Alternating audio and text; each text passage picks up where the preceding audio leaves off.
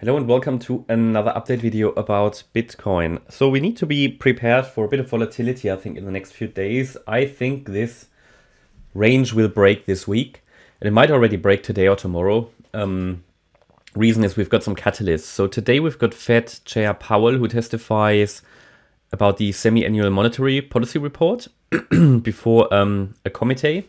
That will go into tomorrow. Okay, so that starts today at 10 a.m. Eastern time but it will go into tomorrow. And then tomorrow we've got, uh, and, and the remainder of the week, we've got a lot of j- job data that comes in um, from the US. And that last time also led to quite a bit of volatility. And at the moment, there's quite a bit of focus on US job data in general.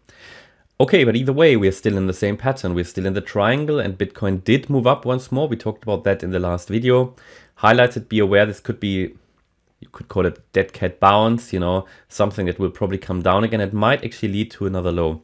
So my yesterday's video, we were here, did highlight to you that we could very well extend out a little bit further with an E wave. By the way, let's actually calculate the target for the C wave just to see if we reached, uh, for the E wave, just to see if we reached what we needed to reach. Um, did we actually talk about that target yesterday? I think we did. Did we? Or was it only on the Ethereum video? Because here you're watching for the 61.8 extension at 22,570. That's pretty much what was reached, okay? So that's an ideal target for an E-wave. Gives confidence that this indeed might have been the last wave of the triangle, which might now break to the downside. We have a range of targets here, down here, from the end of that yellow vertical line to the end of that one.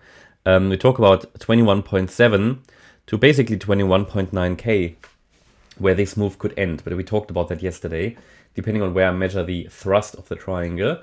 Um, but um, it might sit a little higher because, to be honest, I actually need to put these where the E wave ended. So it might actually go here between 21,860 to 21 to 22,060 in the very first attempt. But either way, this fifth wave needs to go below the third wave. So ideally, we're looking for anything below 21,990 um, you can also look at it in terms of, you know, depending on how I how I count this move um, as a one two one two or just one complete one two. Um, either way, it wouldn't make a great difference. So if we calculate the target for the fourth wave, just by looking at Fibonacci extensions from this high, we're looking at the following targets. This, by the way, is good confluence. Can you see how the 38.2 extension hits perfectly that yellow line. And that wasn't measured with fib extensions. It, it was measured by taking the height of the triangle. Okay, um, it's quite uh, interesting how these sometimes overlap. So this at 21,860. I would expect some confluence there, some reaction. We've got 21,430, which heads or which leads into our support area anyway that we've been discussing in the last few days, and 20,728.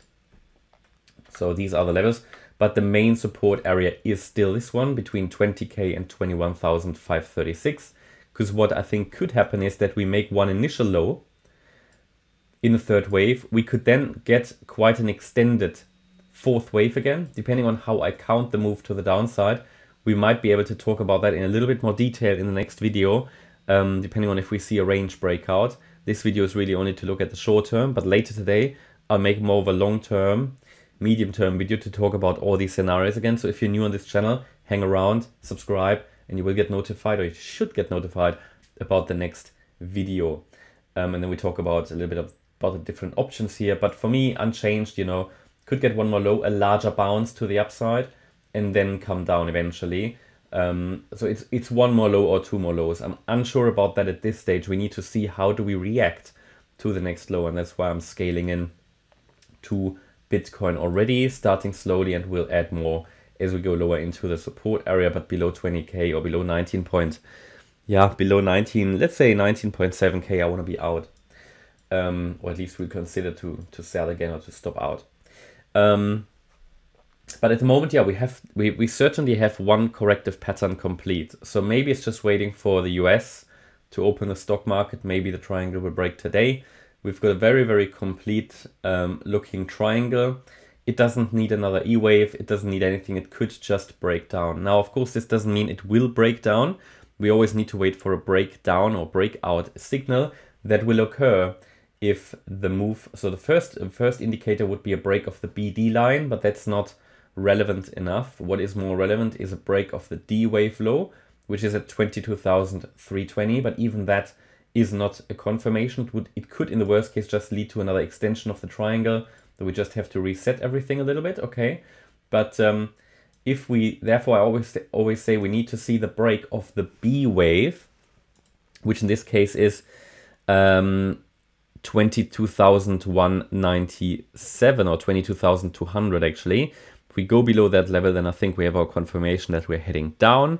So be ready here at any point at the moment is trying again to break the trend line. This gets more brittle as we uh, touch it more and more frequently. We've got four touch points here now, five. Yeah, so after five touch points, such a line gets actually very unreliable, which means it doesn't hold that often anymore because, you know, it gets too obvious. So um, also we're heading very, very, um, we're heading uh, further into the triangle, closer to the apex.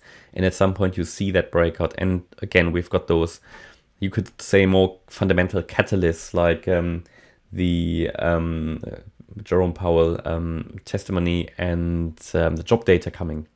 So that will be interesting. Um, but yeah, the trend is still down in my opinion. Also, the breakout should ideally occur to the downside. That will be my view as long as we stay below 22.8k. Note that if we go now above the E wave high, which was marked overnight at 22,560, we cannot see this anymore as a triangle where we can, but it could, in the first instance, it would probably lead to an extension of the triangle that I have to move wave E, maybe even wave C. But if we break above the A wave high at 22,653, then it's probably something like a WXY. But then above 22.8k, I have to assume that we are already that we already bottomed, yeah, which is unlikely, but certainly a possibility we need to talk about. It's all about probabilities, but for now, as long as this stays as it is and we don't break above 22.8k, I'm looking at these downside targets here first before recovering. Okay, that's my update about Bitcoin. I hope you liked the update. If you did, please hit the like button, leave a comment and subscribe. And if you really like the content, then please check out the channel membership. Thanks a lot for watching. Bye bye.